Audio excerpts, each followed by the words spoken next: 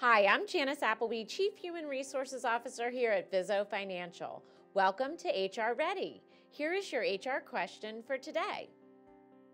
According to the new overtime regulations that will be effective January 1st, 2020, the minimum salary threshold for the salary level test has been raised to A.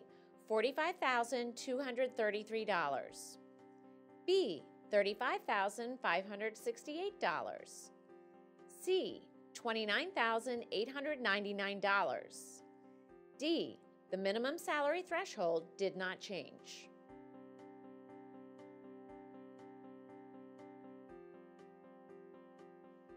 The answer is B.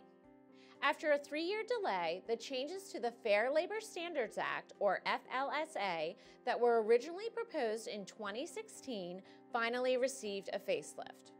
Starting next year, the Department of Labor, or DOL's, new overtime regulation will increase the minimum salary for employees to be exempt from overtime pay to $35,568 annually. That's a jump from the current minimum of $23,660. The 2016 regulation called for the minimum to be raised to $47,476 with an automatic increase every three years. However, the newest version includes a less significant increase and will not have automatic updates built in. Instead, the DOL will need to re-examine the standards on a regular basis to ensure they effectively test for exemption. The new regulation features a special rule for highly compensated employees to increase the minimum exemption from $100,000 to $107,732 annually.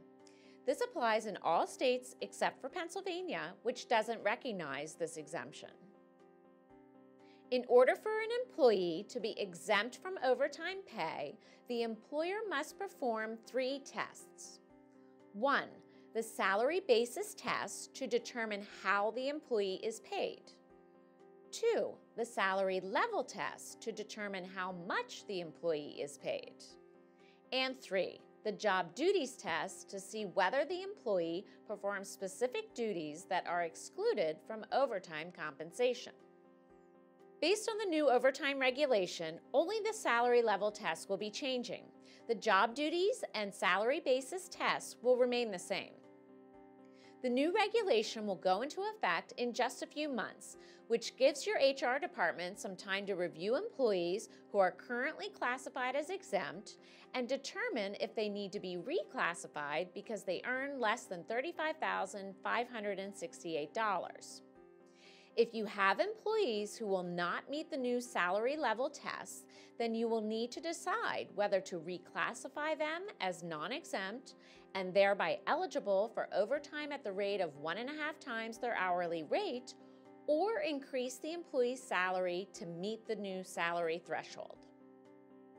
As a reminder, even if the employee passes the salary level test, they must also meet certain criteria in the job duties test to qualify for exemption under the FLSA.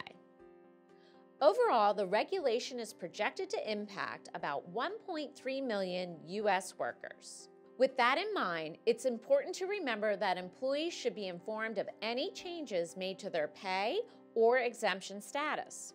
If an employee's status changes from salary to hourly, they will need to be prepared for changes such as tracking hours worked to ensure proper payment of wages. For more information on the rule changes, you can visit the following websites. Before you know it, January will be here and the new overtime regulation will take effect. It's a good idea to be proactive and start looking at how your credit union employees may be impacted. And now you're HR ready.